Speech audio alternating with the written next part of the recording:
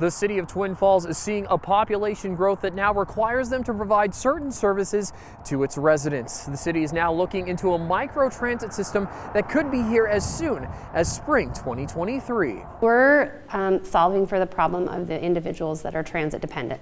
Um, those are people who don't have their own transportation, either because they no longer can drive, um, maybe they're elderly and they're trying to age in place in their own home, um, they're, they're um, our population of um, residents that are disabled.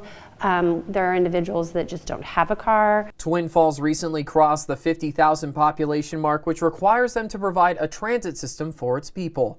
The city is discussing a micro transit system similar to Uber or Lyft. This contrasts with a bus system that would have issues in Twin Falls. And the reality is, is something like that just isn't going to work in Twin Falls.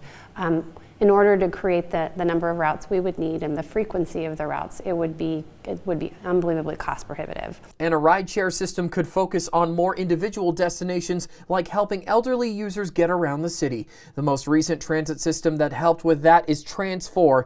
That closed in September and now Interlink volunteer caregivers have taken on many of their former clients. We've been averaging on a monthly basis anywhere between 285 and 300 requests a month just for transportation. Things like dialysis and cancer treatment are priorities for this service, which leaves things like physical therapy and other requests on the back burner. Groceries are important, but it's down the list and we have to work those in and you don't get a specific time to be able to do that.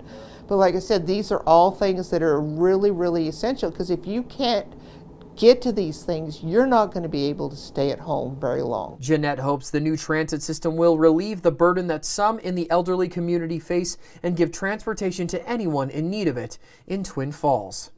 Isaiah Sharp, Idaho News 6.